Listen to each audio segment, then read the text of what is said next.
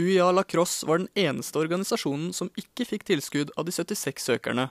Leder for organisasjonen er skuffet over utfallet.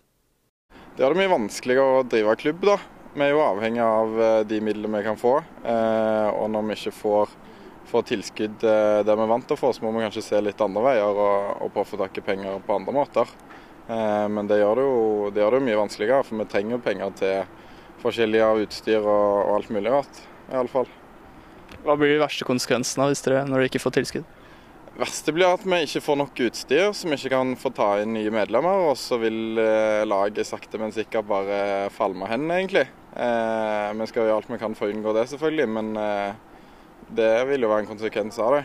Eh, ja. Onsdag 27. mai ble tildelingen tatt opp i kulturstyremøtet, der det enstemmig ble vedtatt at tilskuddene skulle deles ut. Er det noen som har tenkt å stemme imot?